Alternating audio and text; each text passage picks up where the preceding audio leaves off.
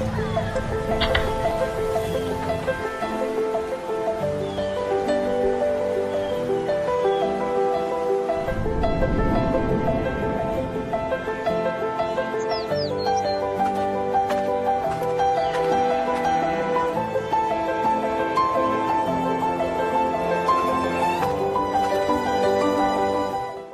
exercise is uh, to put markings uh, that will identify rhinos individually uh, here on uh, Lewa.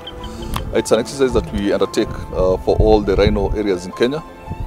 Uh, and it is a part of uh, one of our rhino strateg- uh, strategic um, in terms of management of the, of the populations. Uh, in particular, we are doing uh, notches on the ears, uh, which are unique uh, to each individual. You can use a rhino sensor, you put a rhino transmitter on the horn, and you can able to see on the screen, on the obstruct, where your rhinos are. Particularly the rhinos which are up on the forest, where you can able to see them every day. And those areas are really risk for our rangers, even if they are patrolling there, but there's still more risk. And you can take long days to see that animal.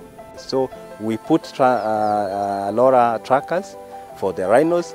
We have uh, for, we are bringing uh, for Grevy's zebras. So it's something that we are really still building it. So we are on the, on, on the trial stages. Most uh, wildlife is moving all the way from northern Kenya, finding some, some good refuge on Lewa. And sometimes, and we have opened even corridors to link wildlife to Mount Kenya forest. So all this is just making sure we create space for conservation. We create uh, um, you know, enough uh, rooming area or ranging area for wildlife, especially the endangered ones. Sometimes even when the drought is so difficult like now, we intervene even in feeding some of them. For example, uh, since last year, we've been supporting black rhino, but the horned ones or the lactating ones with some hay. ni kwa vile huyu mama yake alikuwa kipofu. That's why sababu tulichukua ndio tukaweza kumtrain jinsi ya kukaa na watu na pia usalama wake, kwa sababu kama angewachiliwa kae na mama yake na mama yake ni kipofu, wanyama wengine kama uh, chui ama fisi ama simba wangepe, angeweza kukula kwa sababu mama yake haoni. So sasa vile ambavyo unaona sasa ameweka ame, ameweka tracker na ameweka alama yake, so atakuwa sasa huru kutembea mahali popote, hata hata hata watu wengine wa station nyingine wakati ataanza kujitafutia territory, so akienda mahali popote sasa itakuwa ina monitored, ina monitiwa, inajulikana iko mahali fulani For such operations, we try and work uh, closely with our conservation partners.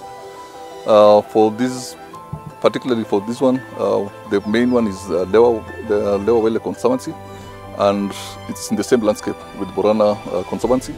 So this operation actually we are calling it the Lewa Borana landscape. Um, we are notching exercise. So the two uh, partners are here. Uh, we have Kenya Wildlife Service uh, because of the overall um, role uh, on its mandate of on wildlife conservation. We have our sister organization, uh, the Wildlife Research and Training Institute, uh, who plays a key role in terms of researching on various wildlife um, Uh, activities that need to be done or need to be undertaken, and also in terms of implementation.